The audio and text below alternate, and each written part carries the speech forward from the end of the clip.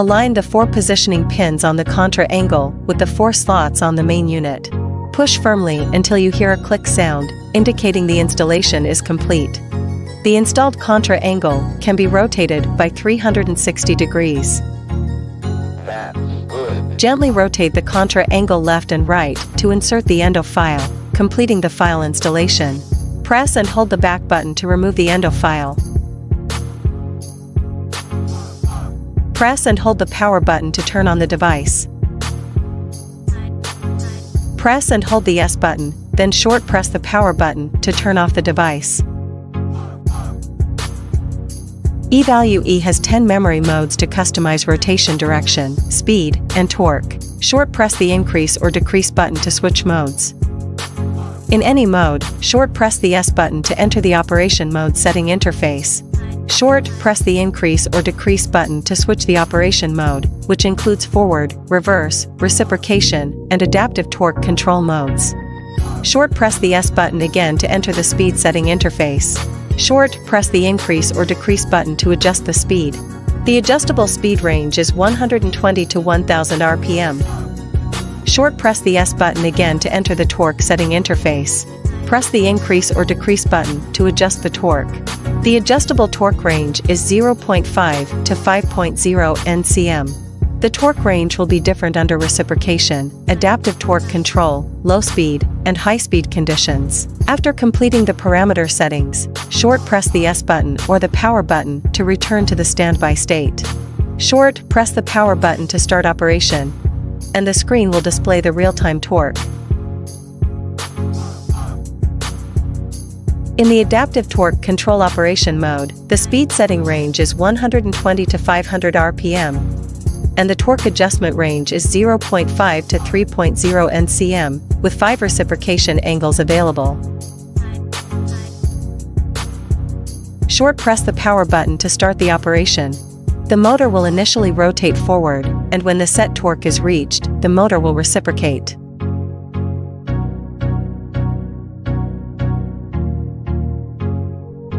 Under reciprocating operation mode, the device can only set the reciprocating angle, and there are five reciprocating angles available.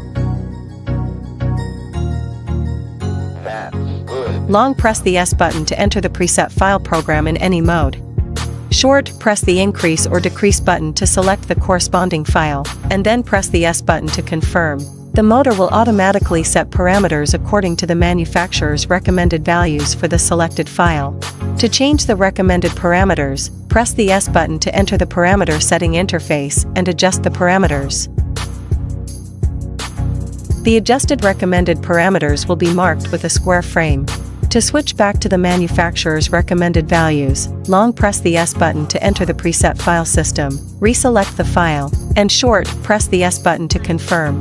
The square frame mark will disappear. In the power off state, long press the S button, then long press the power button to enter the advanced settings interface. First, enter the version display interface. Short press the S button to enter the auto power off time setting interface. Then short, press the increase or decrease button to set the shutdown time. The time range is 3 to 15 minutes. Short press the S button to enter the auto return time setting interface. Then short, press the increase or decrease button to set the automatic return time. The time range is 3 to 60 seconds. Short press the S button to enter the beeper volume setting interface. Then short, press the increase or decrease button to set the volume. The range is 0 to 3 levels. Short press the S button to enter the habit hand setting interface. Then short, press the increase or decrease button to set between left and right hand use. When switched to left-hand use, the display will rotate 180 degrees. Short press the S button to enter the auto calibration setting. Then short press the increase or decrease button to turn it on or off. Short press the S button again to enter the restore factory settings interface.